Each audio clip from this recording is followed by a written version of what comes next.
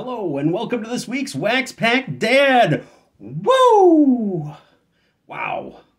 Pretty crazy stuff. It's 2023. Woo! It's actually 2022. I filmed this last week. Um, spoiler alert. Um, but uh, yeah, we're going to open up some uh, 1977 Topps football. Pray that it's not resealed because you want to see a grown man cry again. Um, and I just wanted to let you know that the Wax Pack Dad is way more fun than the 1977 classic Saturday Night Fever with Mr. John Travolta. Because two times in my life, people told me I'd done good. One's dancing, the other's this raise. I don't see you getting no raises. And I don't see you opening some potentially unsealed 1977 Topps Football Wax Packs. Wax Packs. So let's get at it. Let's open some stuff up. Um, notable rookies. Steve Largent, that's the big one.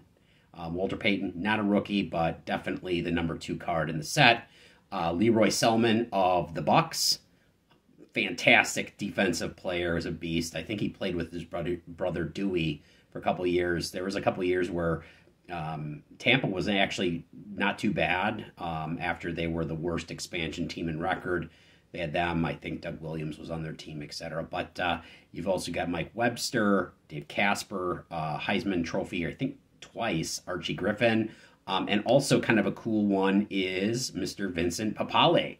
And you're like, that name rings a bell. That's the dude from Invincible that Mark Wahlberg played. Uh, I believe he played for about three seasons with the Eagles. So his rookie card, I think he only may only have one card, uh, maybe two um, in his career. So any one of those would be great. Um, I'm just hoping that we pull a Hall of Famer out. This isn't resealed. So I'm on my um, New Year's resolution to do better vetting the folks that sell wax packs.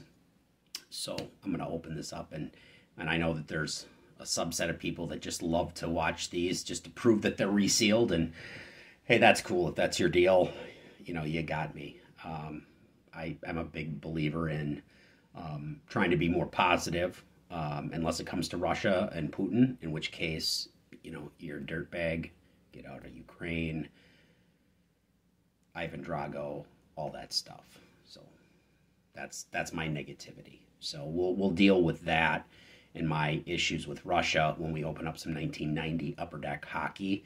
Um, evidently, I've got some sort of thing going on. Um, Red Dawn Wolverines, you know what I'm talking about. And if you don't, that's cool too. So uh, I digress. Let's open up some football. Well, let's have at it. We've got, I think, 12 cards featuring game action shots. So, I don't know. This does not, I don't like this right here, whatever this is, but I guess we'll find out.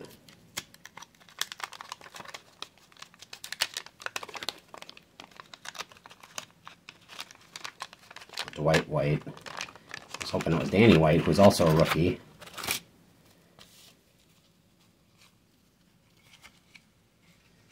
Okay. Defensive tackle, Doug Sutherland. Dolphins, Wayne Moore. Redskins, Ron Saul. Cowboys, Butch Johnson. We'll take a look at here to the the backs, multicolor, etc. Chargers, team checklist, Saints, Bobby Douglas, Rams, Bill Simpson, Bills, OJ, OJ, OJ, Mike Kadish. This is not looking great. Browns, Neil Craig, and Steelers, Dwight White. So, I don't know. Maybe we got skunked again. Maybe not. But uh, just want to thank you guys for watching. I'm sorry it was kind of a bummer of a show. Um, next week we're going to be going through um, the entire from 89 to 99 for football. Got 10 packs. Um, and that's pretty much it. Hope you have a great week.